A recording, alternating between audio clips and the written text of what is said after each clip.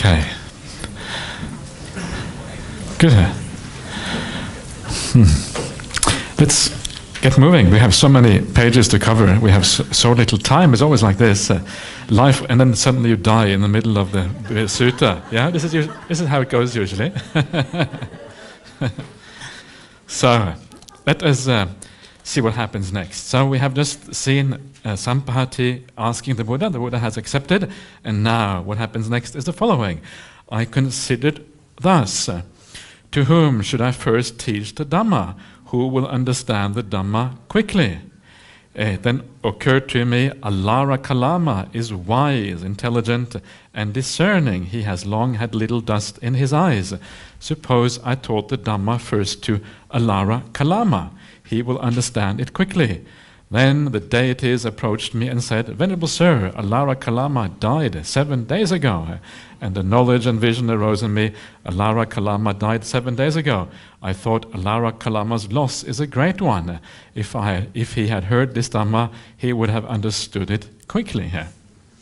It's kind of interesting here how the Buddha, he, I guess he takes the people who are most obvious. Yeah, Alara Kalama is an obvious one because he had very profound meditation, uh, so he's a natural one. But also, I think one of the points is also that he has a sense of gratitude, probably, to an old teacher. And this is what we see further down. We see that the Buddha actually is acting out of gratitude when it comes to teaching the group of five monks. Yeah, it's kind of nice. The, the Buddha is, uh, again, he is very much like the rest of us, but he is he's wise. He uses uh, these things with the highest degree of wisdom. Uh. So gratitude is something that he acts upon. Uh. I consider thus, to whom should I first teach the Dhamma? Who will understand it quickly? Uh. It occurred to me, Uddaka Ramaputta is wise, intelligent, and discerning. He has long had little dust in his eyes. Dust basically means defilements. Suppose I taught the Dhamma first to Uddaka Ramaputta. He will understand it quickly. Then the deities approached me and said, Venerable Sir, Uddaka Ramaputta died last night. And the knowledge and vision arose in me. Uddaka Ramaputta died last night. I thought Uddaka Ramaputta's loss is a great one. He, if he had heard this Dhamma, he would have understood it quickly. I considered thus, to whom should I first teach the Dhamma? Who will understand it quickly? It occurred to me the group of five who attended upon me while I was engaged in my striving were very helpful. Suppose I taught the Dhamma first to them. Then I thought, where are the bhikkhus of the group of five living now? And with a divine eye which is purified and surpasses the human, I saw that they were living at Benares in the, uh, uh, in the deer park at Isipatana this is Sarnath, Yeah, this is where Sarnath is today, and that's where you uh, what this is all about. So he knew that they were there. Maybe he, they had told him that that's where they were going. Maybe that was why he knew. I don't know. But this is uh, how the story goes. So uh, then he has decided what to do next, and then this is what happens. Then, because when I had stayed at Uruvela as long as I chose, I set out to wander by stages uh, to Benares, between Gaya and the place of enlightenment. That's what it's called here, the place of enlightenment. That's Bodh Gaya now.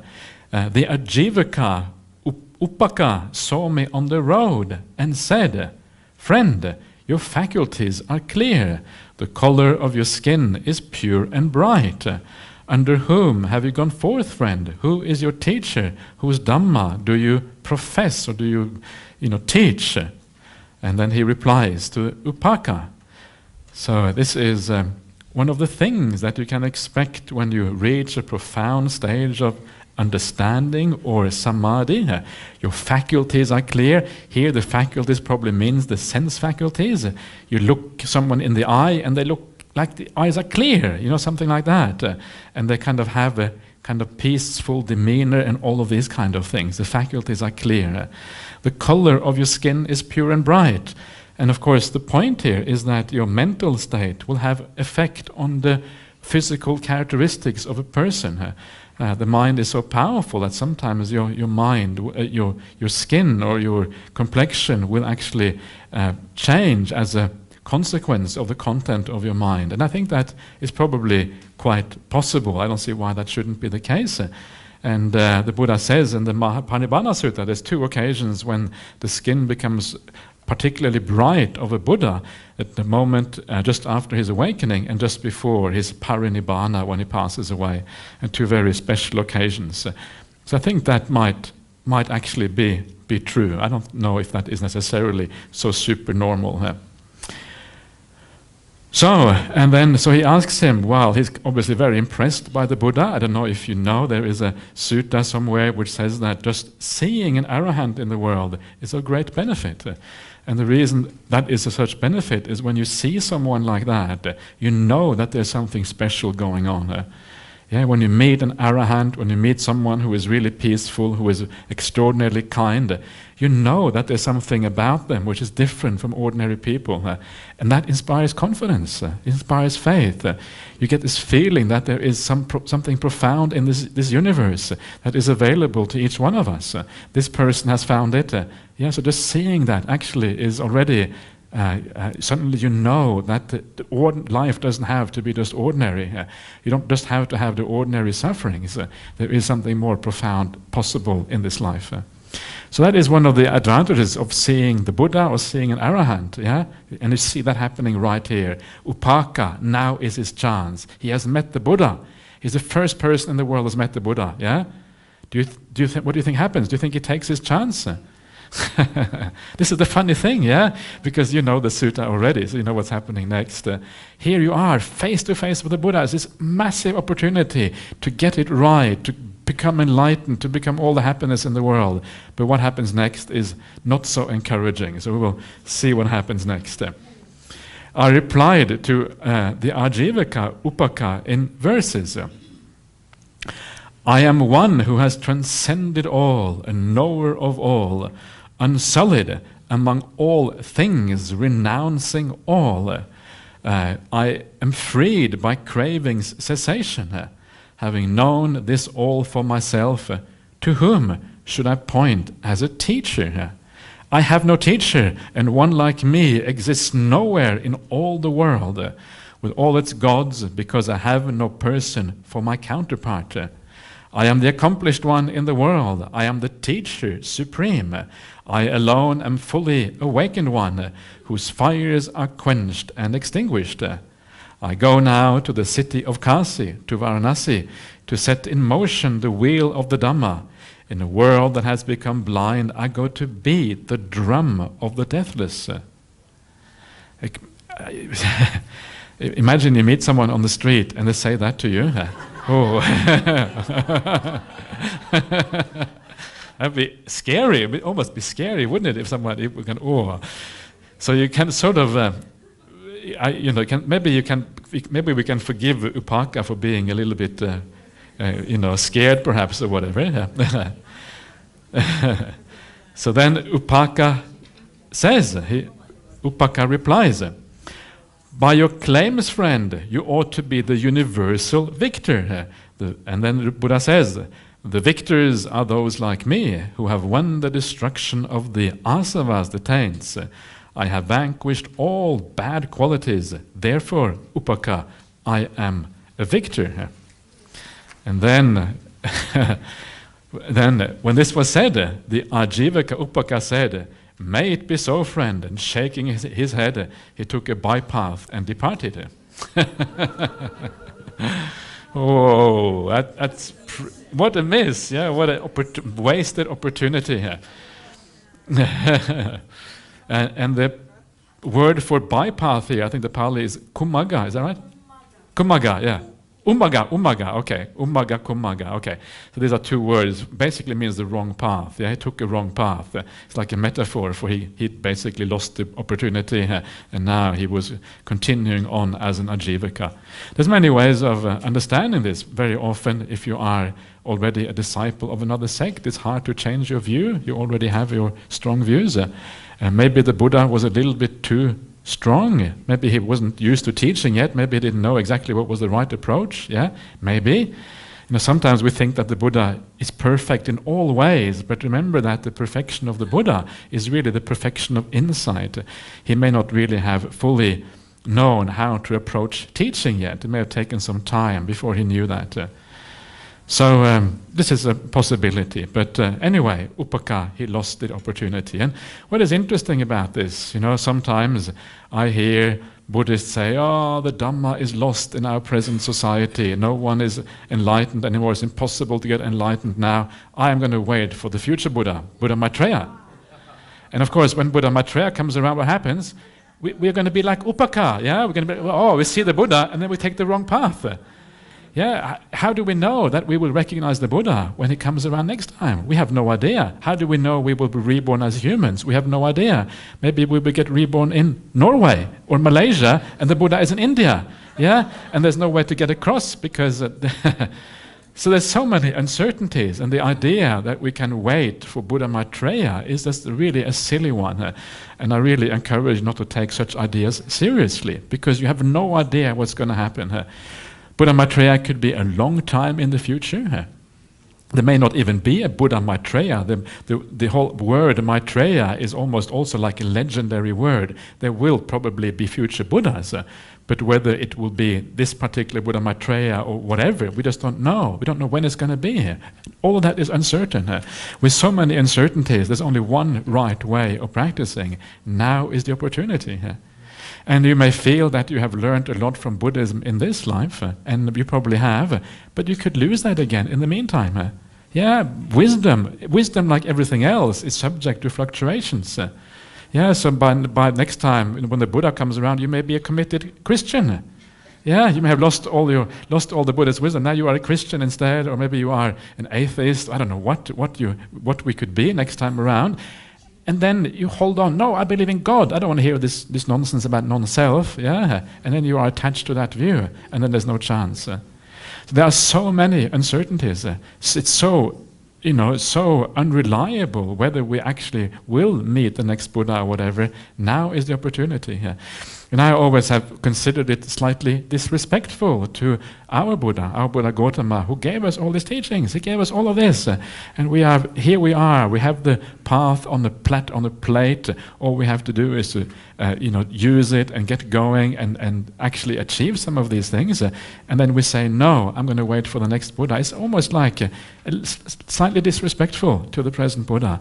He is our teacher. He is the one who's given us all this. Uh, instead, we go worshipping some pie in the sky that we don't know anything about. It's madness uh, when you think about it. Uh, and um, you know, some of these sects. I don't know if you have them here in in Malaysia. There's a sect called the Ikuan Tao.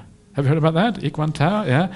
And it's a sect that arose in China about a century ago, and now it is big in Taiwan, and it's kind of carrying around. And in the biggest, one of the biggest Ikuan Tao temples in uh, uh, Southeast Asia is found in Medan. Medan is not far from here, yeah, just around across the strait uh, of Malacca, and then you have the you have the Medan, enormous temple. I, I, saw it when I was in Medan recently. I was there, enormous thing. Yeah.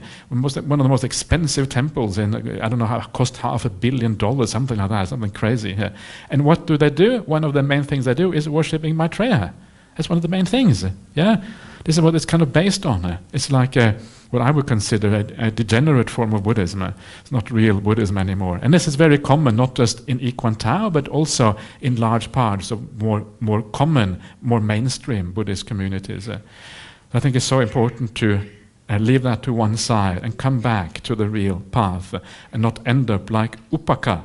Yeah, otherwise we might, we might all be little Upakas and then we, we, have, a, we have a problem. Okay, so then uh, the Buddha continues. Then, because wandering by stages, I eventually came to Benares, to the deer park in Isipatana, and I approached the bhikkhus of the group of five.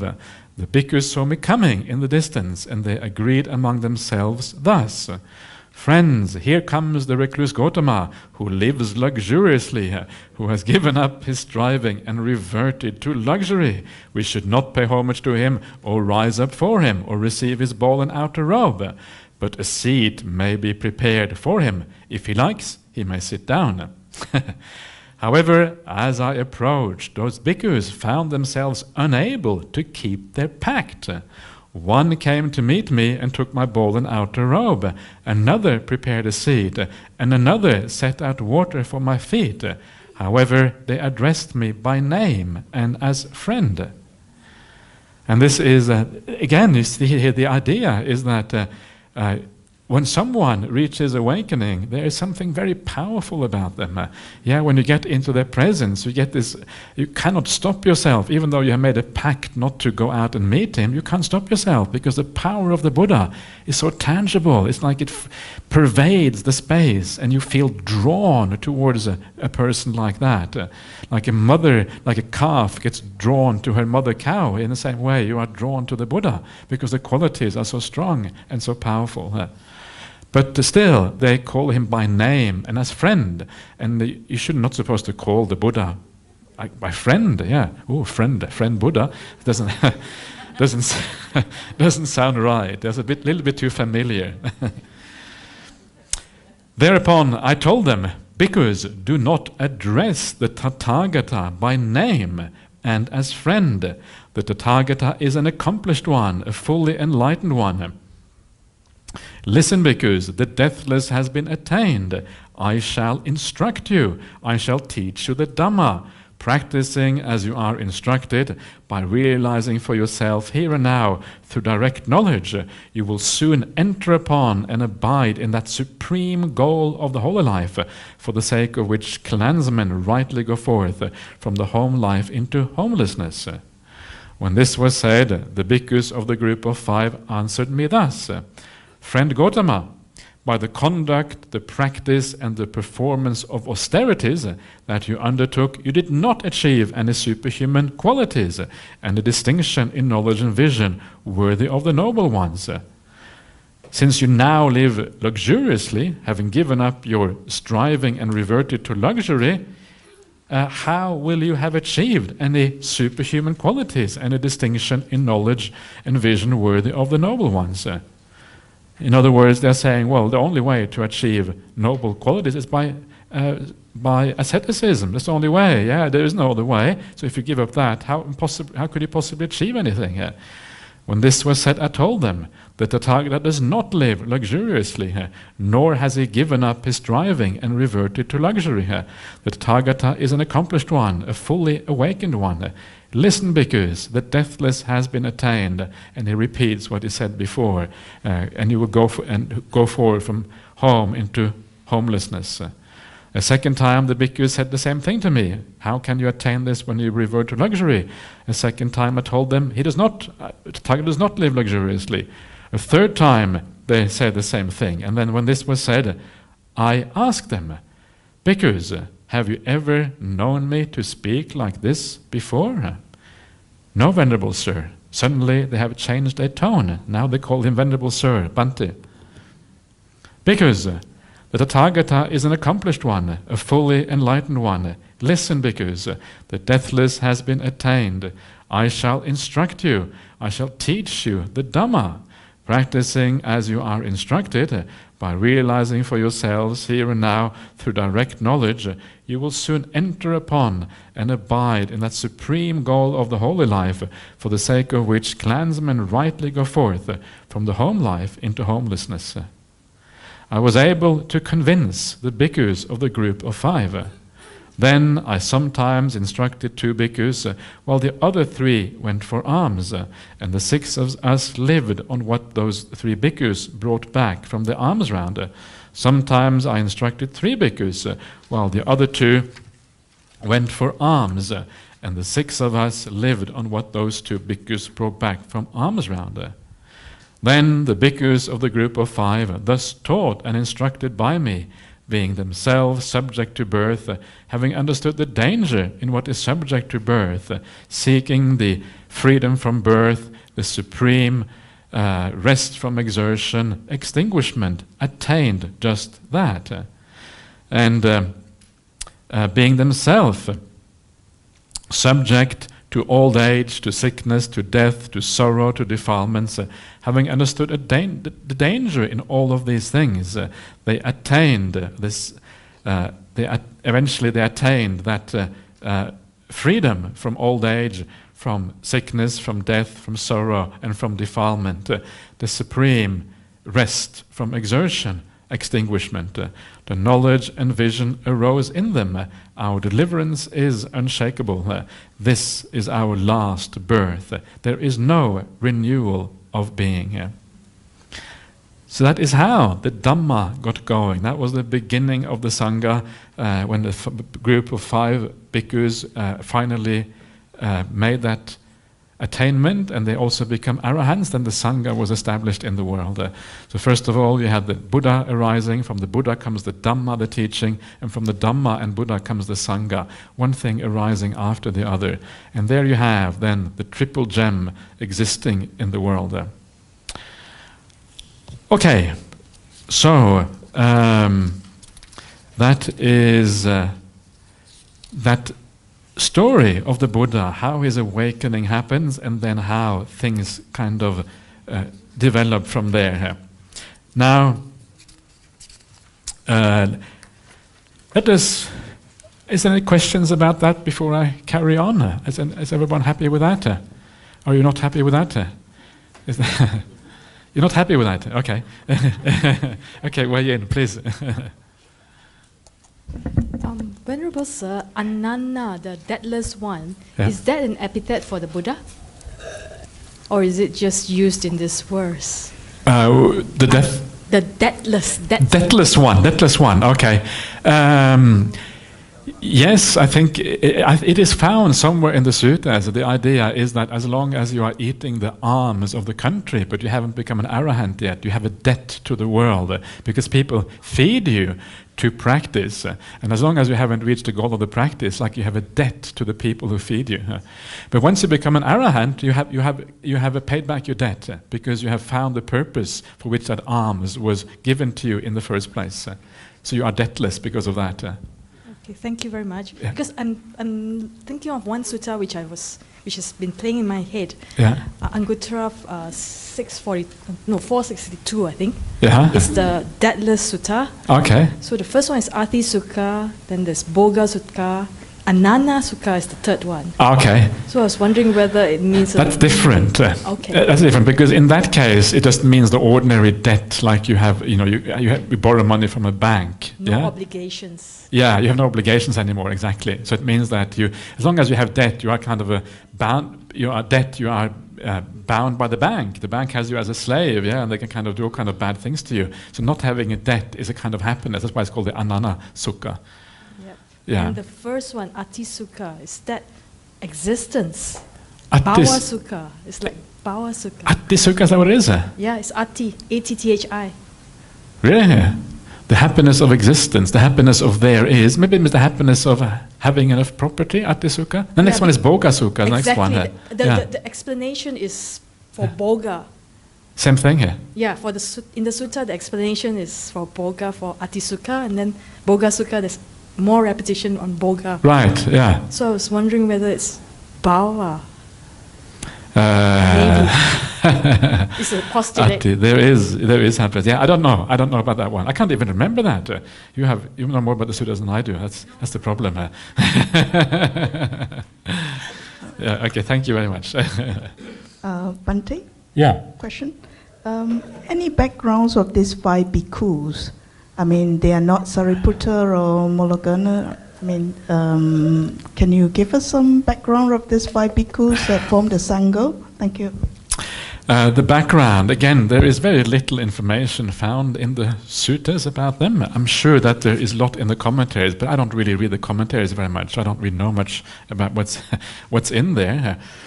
Uh, but um, yeah, maybe they were friends from the time that when he was under Alara Kalama, perhaps, or maybe they were friends from an early point of view, someone who followed him around. Uh, he would have, the Buddha, even before he became enlightened, he obviously would have been a very special person. Uh, and you can imagine that people would maybe kind of regard him as special and they will follow him, him around. Uh, but there's very little information about where they come from. But uh, later on, again, they also disappear.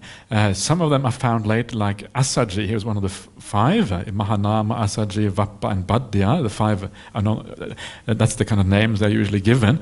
And Assaji, one of the interesting things about him is that he is the one who meets Venerable Sariputta before Sariputta becomes a monk. You know that story? Yeah? That's a very nice story where uh, Venerable Sariputta and Mahamoggallana, they're already friends. and they have this compact with each other that the one who finds the deathless the first has to tell the other one. Yeah? It's a kind of nice, nice thing to do. So you can do that with your friends. and then one day he is in the city in Rajagaha. This is in Rajagaha in Magadha. And he sees this monk who is very inspiring. And this monk is Venerable Assaji, one of the first five disciples. So Venerable Sariputta goes up to him and asks him, uh, you know, you know, who, who, can you please teach me the, who's a teacher? Can you please give me a teaching? Yeah. And Asa said, "Oh, I'm old, I'm new to this Dhamma. I, I don't know much. He's an arahant already, right? I'm new. I don't know very much. Uh, oh, please, just you know, don't need to say much. Just say something very short and very brief." Uh, and then he says this line that everything that has a uh, that arises will cease. Yeah, everything that has nature to arise will also cease. Uh, and what happens then? When Masariputta becomes a stream enterer. It's, quite amazing, yeah. I mean, how many of you became a stream enterer just now? You just heard it. yeah, so you have to have really powerful faculties to be able to get that. Everything that has a nature to arise must cease. And at that moment, you realize what you realize, and there's nothing to hold on to in the world. Everything is just ephemeral, it always passes away, and then you let go at that moment. Probably because he was already an ascetic, he was already a practitioner, probably had a good samadhi already. That's why he was able to do that. And that's the story of Assaji and, and Venerable Sariputta. And of course, later on, then he goes back to Mahamoggallana, and then they become ordained, and they become the Buddha's chief disciples. But uh, there is very little information about the five. Apart from that, they don't not prominent anywhere. They may not have been very natural teachers. Maybe they just lived in the forest for themselves, or didn't really have any prominent position. Um, again, there is no doubt that probably you can find their verses in the. Have you read the verses in the Theragatha? No, maybe look up their verses. They might be quite nice, uh, and they might say something about them. And they, they, are probably some of the best information you can find about them. Uh, so go to Sutta Central. Have you, you know Sutta Central? Uh, yeah, go to Sutta Central online. Sutta Central, go to Theragatha there and get the translation and and so get, get, get the names out. Uh, yeah, there is a nice story about Badya. I don't know if it is the same Badya. There is another Badya who was in the Vinaya. I'm not sure if it is the same one. Could be the same one. Uncertain. And this is a story of Badya, and he's sitting in the forest at the root of a tree, here, yeah, by himself. And uh, he is sitting there, and he says, he keeps on exclaiming, Oh, aho sukang, aho sukang, which means, oh, what happiness, oh, what happiness. So he's sitting at the root of the tree saying this all the time. And then uh, some groups of monks, they kind of walk past and they see him sitting there, and they think, he must be going crazy. What is he doing, sitting at the root of a tree saying this all the time? They get worried about him. So they go to the Buddha and they say, Well, Badya, he is sitting at the root of a tree and he's just exclaiming Ahosukang, Ahosukang all the time. We think he's, we think he's nuts. You know, uh, Venerable Sir, please do something. And then so the Buddha says to a man who is there, he says to him, Well, please go and get Badya. So he goes and gets Badya. Badya comes, and the Buddha says to him, Well, is it true that you are just sitting by yourself in the forest at the root of a tree saying, Ahosukang, Ahosukang all the time? And says, Yes, it's true. And then the Buddha said, Well, why are you saying that? And it, was one of the uh, sons of one of the very highest families in the second tribe. But he was like a prince or something like that. Uh, and he was used to a lot of luxury, even more than the Buddha probably when he grew up. Uh, and then he says to the Buddha, Well, the reason why I'm sitting here is that when I think back to the life as a prince, I think about all the troubles, yeah, all the work, all the things I have to look after, all the wives I had, and all that kind of stuff. Yeah, and so many, so many things to look after. And now I'm free, I'm liberated. All I have to do is sit here at the root of a tree, do nothing. Aho sukang, aho sukang. Yeah. It's a nice story because it gives you the contrast between the highest worldly happiness uh, and the happiness of an arahant. Yeah, happiness of arahantship is just way beyond any happiness you can have in the world. The world seems like a place of of uh, responsibilities and problems and cares, uh, whereas the life gone forth on arahant is completely free. Could be the same badya. I don't know, but maybe it is the same badya. anyway, so um, that is. Uh, a little bit about that. Any other questions about Anything? Yes, Barbara? just want to make a comment, but Yeah. uh, coming back to uh, uh, some uh, uh, uh, sorry, sorry. Uh, Brahma, uh, coming back to Brahma Sahampati? yeah. Yeah, yeah. Uh, now seems like the Hindus or whatever uh, seem to have a last say because they say Buddha is the reincarnation of Vishnu. Yeah, yeah. So, Yeah. what is your comment? But Oh, thi- this is this is what I mean. This is a tip strategy of all religions. All religions have the same strategy. It is the idea of incorporating other religions into your own. Yeah. So the Hindus try to incorporate the Buddhism into theirs. We try to incorporate Hinduism into ours. Yeah. So we all try to appropriate the other people. So exactly, Buddha is the reincarnation of Shiva. Not only that, but uh, according to the Hindus, like Virgin Mary, she's one of the gods in the Hindus as well. So Christianity also a part of Hinduism. Yeah. This was one of the. We, have a couple of Indian uh, people who are who are becoming monks at our monastery. They come from India, and one of them he is uh, he comes from the south of India. Uh, was it him or was it the other one? I can't remember now. We have a couple of people from one from Bangladesh and one from India. They're both Hindus originally, but they become Buddhists, and they're really, uh, they, and hopefully they will become monks. They're really, really, really nice people. And they told me the story that uh, one of the family members had decided to marry a Christian. Yeah, and so they went to their mother and said, "Oh, mother, do you mind if I marry a Christian?" Oh, no problem, because Virgin Mary, she's already a Hindu. Yeah, so no, no, no problem with that. So th- this is this is how it works. Yeah, you include every, everything else into your, your own religion. yeah. yes. yeah, yeah. There is a documentary about that one, but I, I, I don't know. I, I have heard various comments on that documentary, and I think uh, many people say it is. Uh, say, yes, there are documentary. Was born in India, right? Yeah. You see, yeah, yeah. I know about that one. uh, yeah. Anyway, I don't want to get into that. I don't know enough about it. yeah. Yeah, yeah, sorry, Bhante. Yeah. Even in China, Yeah. we were doing uh, the topic on how Buddhism went to China. They even tried to say Mengzi. Mengzi is one of the famous philosophers. Yeah. They tried to create a story that Mengzi, when he was born, he could also walk seven steps, and Okay. each step was at the lotus flower. Ah, right, okay, yeah, and they yeah. printed and circulated this uh, story, you know. Yeah. And the Buddhists there were so angry, Yeah. told the emperor to ban them from printing thi- this kind of uh, information Yeah. because it's not true, they say. Yeah, yeah, it's like it's like that because you get competition between the religions. You know, it's it's natural. Uh, nobody, if you you know, you, you don't want your your religion to be, lose out, so you want to do these things. Yeah. Yes. Okay. Um, uh, er, so how? What time did we start? Uh, I can't remember now. Quarter quarter two. Is that when we started? Uh, should we go a little bit longer? Uh, what? I can't. I've lost. I've lost my lost track of what I'm doing here. Um, yeah. Okay. Let's continue a little bit more because. Uh, so let's have a look at the next sutta. This is called imperfections. And this is just another nice little story about the Buddha. This is one of the uh, famous stories uh, uh, in the suttas and also in the Vinaya about something called the quarrel at Kosambi when the monks were arguing with each other. And this shows us how the Buddha kind of deals with that kind of situation. And it's quite, it's quite nice. And uh, so that's why I've take, uh, picked this one for just to get this feeling for the Buddha, who the Buddha was as a person. So let's have a look at this. Thus have I heard. On one occasion, the Blessed One was living at Kosambi in Ghosita's park.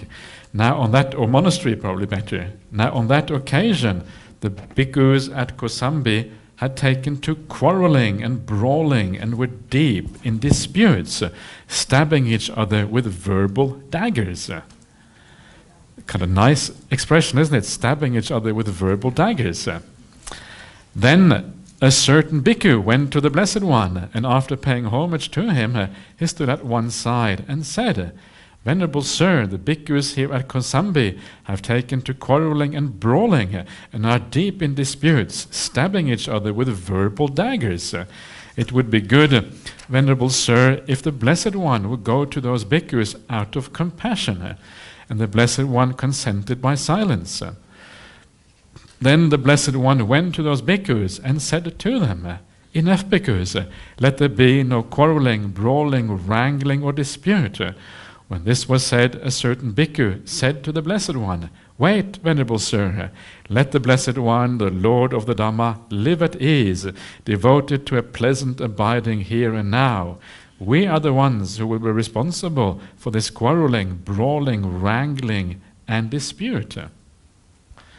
It is a, it's not very, not very good thing to say in the presence of the Buddha. Instead of saying we will we will sort out and stop quarreling, you say we want to continue our quarrels. Please don't get involved. That's what he's saying to the Buddha, basically.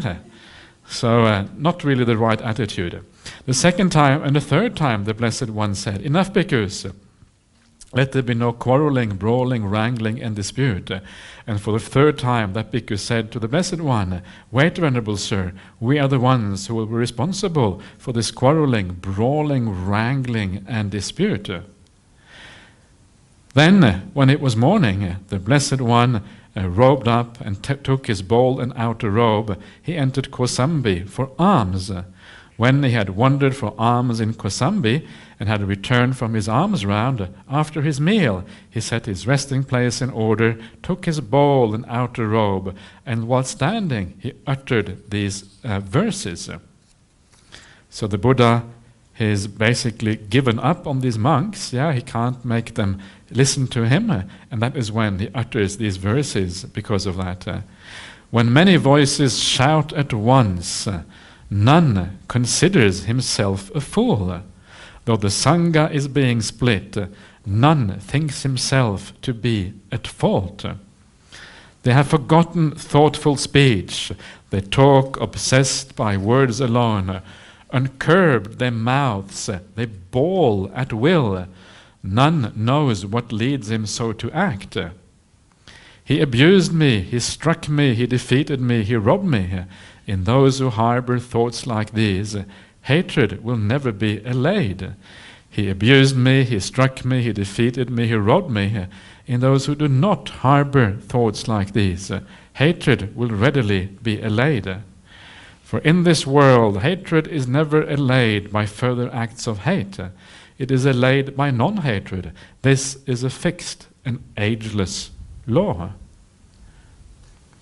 Those others do not recognize that here we should restrain ourselves, uh, but those wise ones who realize this uh, at once end all their enmity. Uh, breakers of bones and murderers, those who steal cattle, horses, and wealth, those who pillage the entire realm, when even these can act together, why can you not do so too?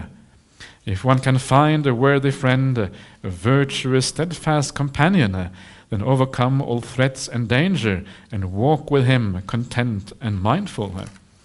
But if one finds no worthy friend and no virtuous, steadfast companion, then as a king leaves his conquered realm, walk like a tusker in the woods alone.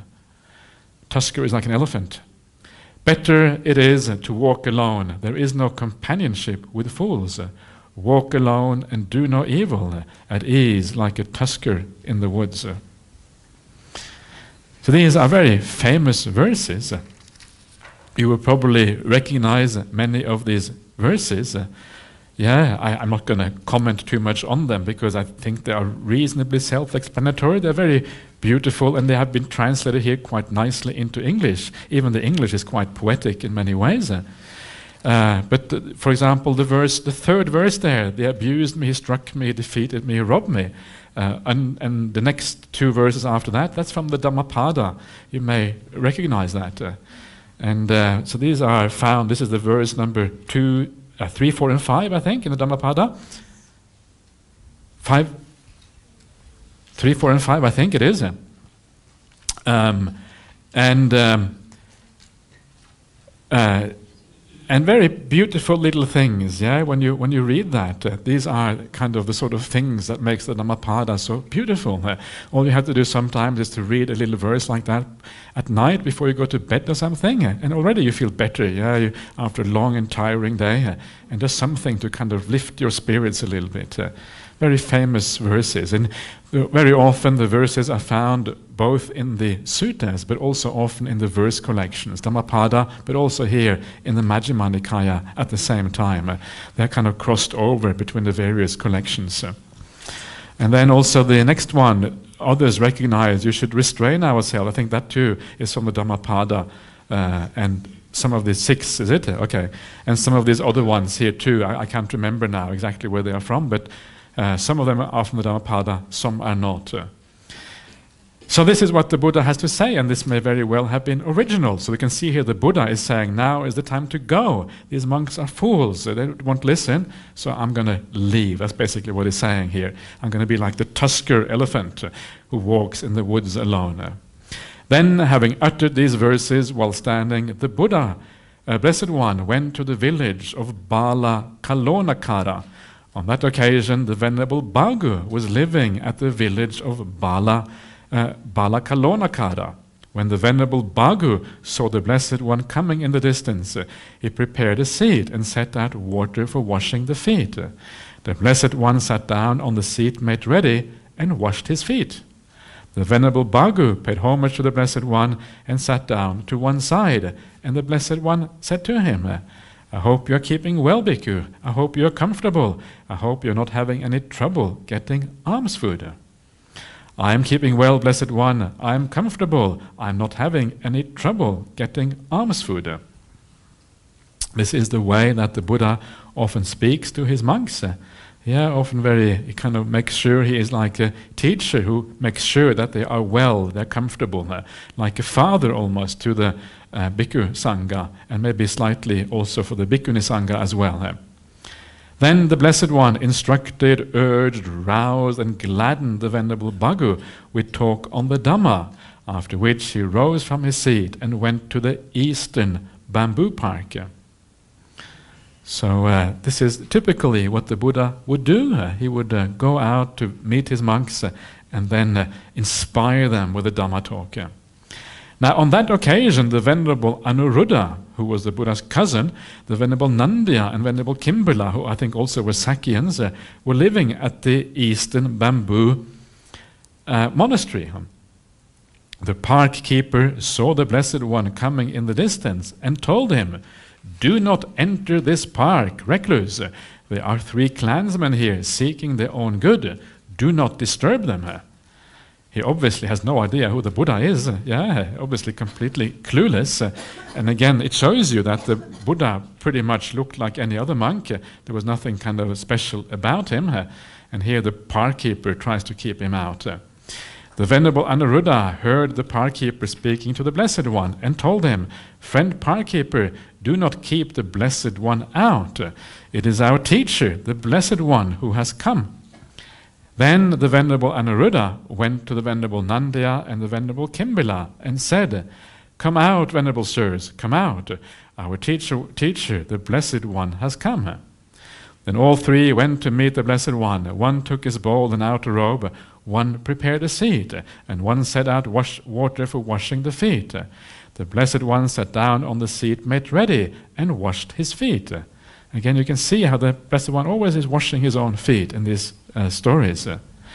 Then those three venerable ones paid homage to the Blessed One and sat down at one side. And the Blessed One said to them, I hope you're all keeping well, Anuruddha, or Anuruddhas. Is it plural? Plural there, I think. I hope you are comfortable, yeah? Uh, I hope you are not having any trouble getting alms food. We are keeping well, Blessed One. We are comfortable, and we are not having any trouble getting alms food. Just a small point there is interesting. The Buddha speaks to them as Anuruddha, but he uses the word Anuruddha in the plural. So he says Anuruddhas, as if they're all called Anuruddha. Yeah, but they're not, because one is called Kimbila, one is called Nandiya. So he, but he's addressing them in this way, and this is quite interesting because what it means is that uh, very often uh, the people who the Buddha addresses are the most senior people in the assembly. So very often the most senior ones will be the bhikkhus, because the bhikkhus were ordained first, the bhikkhu sangha was established first. So usually when the Buddha addresses the bhikkhus, it does not mean that there is no one else in the assembly. Very often there may have been bhikkhunis there.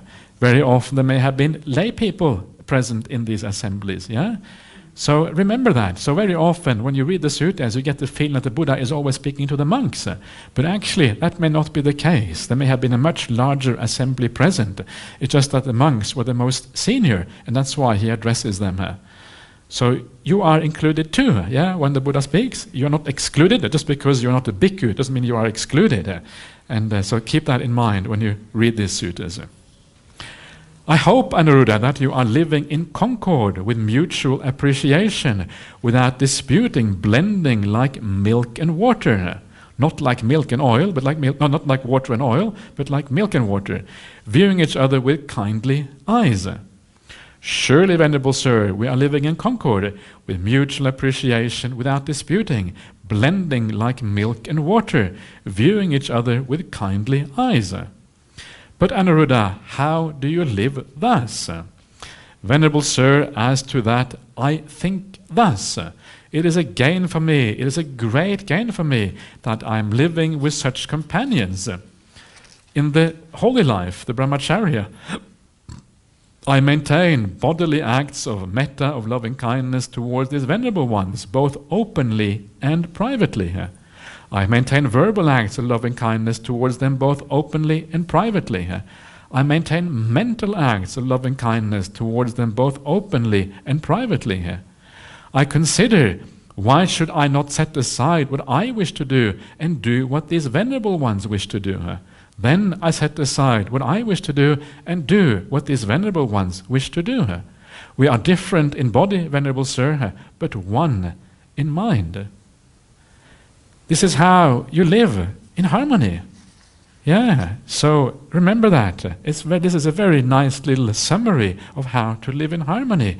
And uh, it is always the case that in all organizations, and I'm sure it is true at, here at the BGF as well, it is not always 100% harmonious. Isn't that right? It's very difficult to always have complete harmony. It is true, it's also true in the Buddhist Society of WA is true in Bodhinyana Monastery.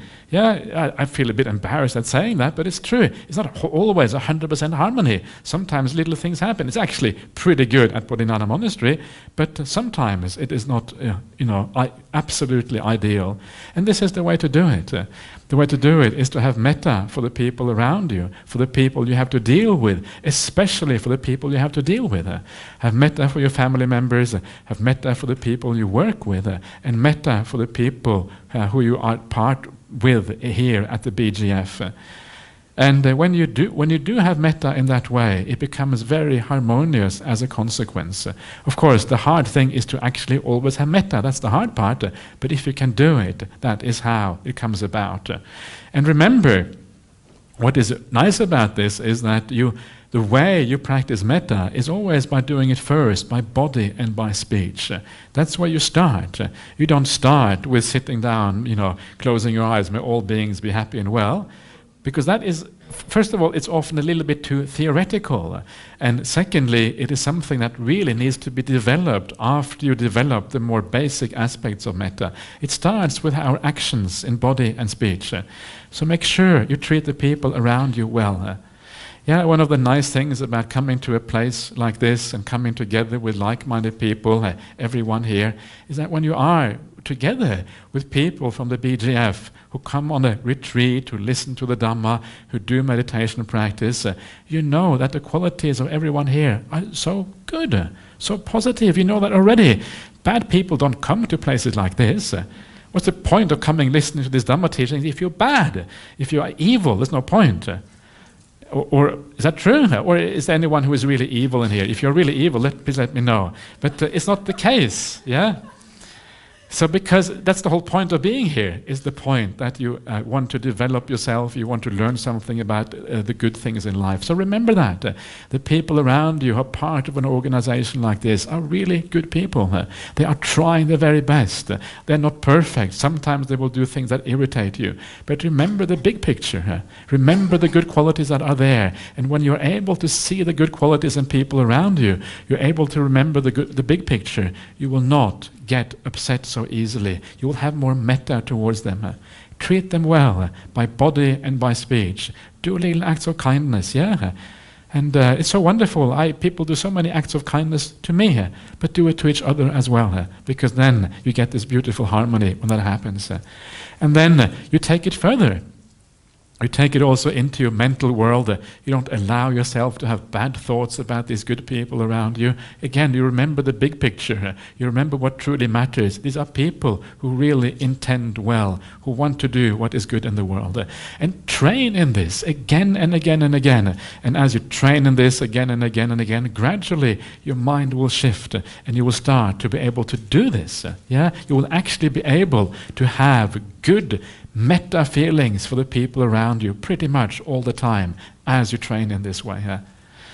So this is not this this can be done. It's just that our habits tend to go counter to this. So you have to change your habits, change the way you usually reflect, and by using your mind skillfully in this way, one day uh, you will generally have good feelings to the people around you. I know it works because I've been doing this, trying to live like this for many, many years. Uh, and uh, there's no doubt that I, I, have changed enormously because of that. Uh, yeah, I'm very glad. Nobody, what is the longest that I know anyone here? Not that many years, only a few years. Uh, I'm very, very glad about that because uh, if you had known me a long time ago, you may have thought I was a hopeless monk. Yeah, this fellow, no chance that he will do anything good in this life. But now you see me after a long time, I'm already kind of a, a, product on the way, yeah. So a little bit kind of, I'm already kind of come a certain way down the assembly line, yeah, and I'm kind of moving towards the exit, hopefully, of the assembly line. Uh. So Ajahn Brahma's factory, monk factory, that's what I, am part of. Uh. So please do this, yeah. And when you live like this, uh, you are creating harmony in the uh, uh, Buddhist Gem Fellowship. But not only that, what you're also doing is that you are creating the foundations for meditation practice. Uh, and maybe you don't have to experience so much pain in meditation anymore because of that. Uh, yeah, so maybe you can go more directly to the bliss, directly to the happiness, because you are more purified inside. Uh, and it's nice. Yeah, there's no need to. Uh, if we can avoid the pain, we do that. If you feel that a bit of pain is helpful in a meditation please do so. But if you can avoid it, even better, I would say. Uh, and go straight to the happiness, straight to the samadhi, and bang. This is how you do it, by purifying your mind in this way. Uh. So, beautiful little teachings that you find hidden away in little places like this. And then uh, the Venerable Nandiya and the Venerable Kimbila each spoke likewise, adding, that is how, Venerable Sir, we are living in concord with mutual appreciation, without disputing, blending like milk and water, viewing each other with kindly eyes. Good, good, Anuruddha. I hope that you all abide diligent, ardent, and resolute. Surely, Venerable Sir, we abide diligent, ardent, and resolute. But Anuruddha, how do you abide thus? So, um, uh, first of all, they live in concord. That's the first thing, and the next one is how to live ardent and resolute. Yeah, and this is how he talks about living ardent and resolute. Uh, and what he says is the following: Venerable Sir, as to that, uh, whichever of us returns first from the village with alms food, prepares the seed, sets out the water for drinking and for washing, and puts the refuse bucket in its place. whichever of us returns last. Uh, eats any food left over if he wishes, otherwise, he throws it away where there is no greenery or drops it into water where there is no life. He puts away the seeds and the water for drinking and for washing. He puts away the refuse bucket after washing it and he sweeps out the refectory. Whoever notices that the pots of water for drinking, washing, and the latrine are low or empty, takes care of them. If they are too heavy for him, he calls someone else by a signal of the hand, and they move it by joining hands. But because of this, we do not break out into speech. But every five days we sit together all night discussing the Dhamma. That is how we abide diligent, ardent, and resolute. And um, it's a little bit strange because it's all about the practicalities of daily life and not so much about the Dhamma practice. But I think you can take it as given that uh, part of this is also the meditation practice. Yeah, if you live the rest of your life in the right way, then the meditation kind of comes naturally into that, becomes part of that. Uh, so we I can assume here that uh, that. Um, the meditation is part of this, and that is really what the next part is about.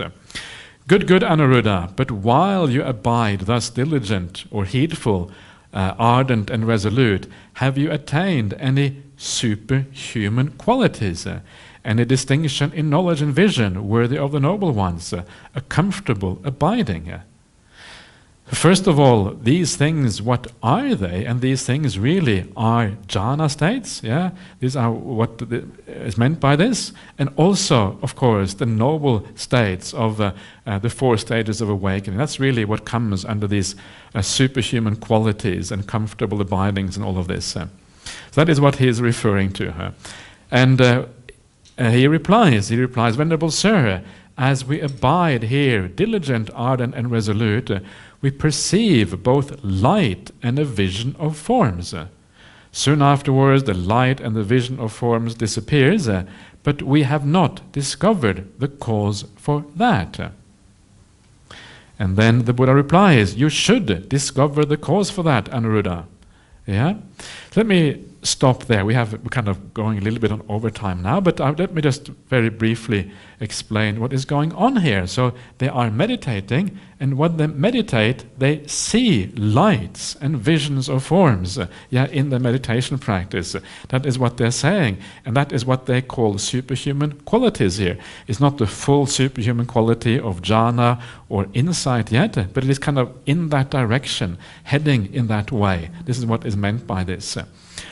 So, um, what are these things? And lights and visions or forms, this is really, I think, uh, and uh, these are similar to what we now call samadhi nimittas in the present day here. Because a samadhi nimitta is, uh, uh, you know, the way it is used in common uh, language in the Buddhist world is often this light that you have in mind. And that light will have a certain form. Yeah? And that is uh, normally what is what would, what be meant by these things. It could also mean forms. It could also mean any kind of vision that you have in samadhi. These are often also called nimittas in the present day. Nimittas. Uh, uh, so it could also be refer referring to that. But in this case, I think it is very likely to refer to the sa uh, samadhi nimitta. And the reason for that is because the uh, sutta goes on. It shows how to uh, sustain that light and the vision of the forms, and then take it into the jhana states down the track. So uh, the Buddha gives then this beautiful explanation. I'm not going to go into that. I'll probably stop there and go on to the next sutta next time. But the, the Buddha gives a very beautiful explanation here how to uh, uh, sustain, how to discover the causes, why that vision disappears.